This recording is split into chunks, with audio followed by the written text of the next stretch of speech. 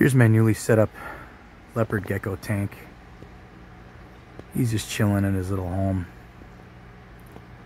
And I just got them putting some crickets in here for him. Hey, buddy. He's not really hungry, but he likes sitting in his little rock cave. There's a heating pad underneath the tank, right under his rock cave that gives a little warmth. He's pretty cute.